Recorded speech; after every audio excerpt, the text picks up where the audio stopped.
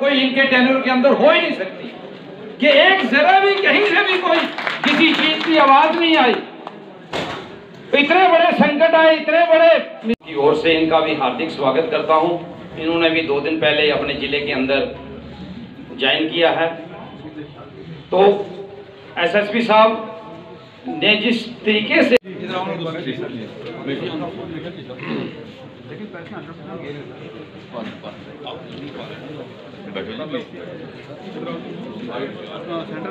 उनको जो है इन्होंने इंसाफ फराम किया।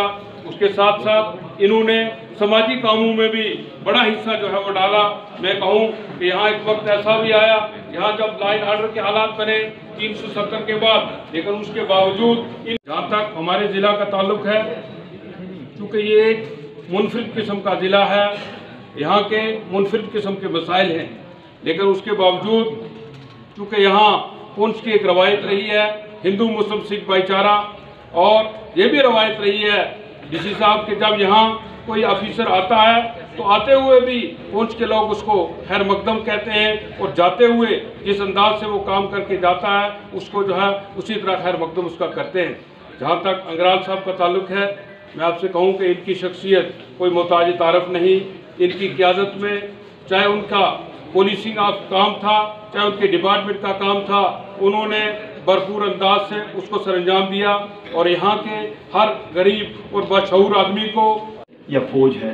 जब भी वो कभी क्राइसिस में आती है तो सरदार राजेंद्र सिंह जी एक ऐसी शख्सियत हैं, जब ये बाहर निकलते हैं तो पूरा शहर इनको लब बैक कहता है और जाकर के समाज के अंदर माशरे के अंदर एक अहम किरदार ये अदा करते हैं। तो आप यहाँ पर देख रहे हैं जो जेंट्री इन्होंने इनवाइट की है, या इनके कहने पर इनवाइट इन्विटेशन नहीं, मैं बात करूँगा इनकी जस्ट एक कॉल थी और उस कॉल को लब बैक कहते हुए हिंदू, मुस्लिम, सिख तमाम हजरात यहाँ पर तशरीफ़ लाए हैं। डीसी साहब की हम प्रतीक्षा कर रहे हैं मुंतज़र हैं। चंद लम्हों में वो भी हमारे दरमियान मौजूद होंगे। लेकिन हम आज का ये जो कार्यक्रम है इसका शुभ आरंभ करेंगे। और जिसके लिए मैं निमंत्रण दूँगा प्रधान सनातन धर्म सभा पुंछ सतीश शासन जी से किया इसकी जितनी भी तारीफ़ की जाए उतनी कम है। और खासकर ऐसे हालात भी बन, बनते गए लेकिन उन हालात के अंदर भी इन्होंने इस जिला के अंदर पूरा भाईचारा जो है मेंटेन करते हुए ये आगे बढ़ते गए। बड़ी सुंदर जोड़ी थी राहुल यादव जी की और रमेश अंग्राल जी की। दिन नहीं देखा, रात नहीं देखा। लोग अपनी ओर से पूरी कोशिश की कि लोगों की तकलीफें हल हो, लोगों के मिसाइल हल हो।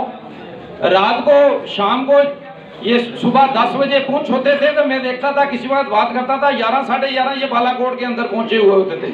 मैं किसी वक्त कोई बात पर काम पड़ता तो मैं फ़ोन करता, कहते स्टीच जी, थोड़ा वेट कीजिए, मैं बालाकोट के अंदर मीटिंग ले रहा हूँ। बालाकोट से निकलते तो लोरन पहुँच जाते थे। यानी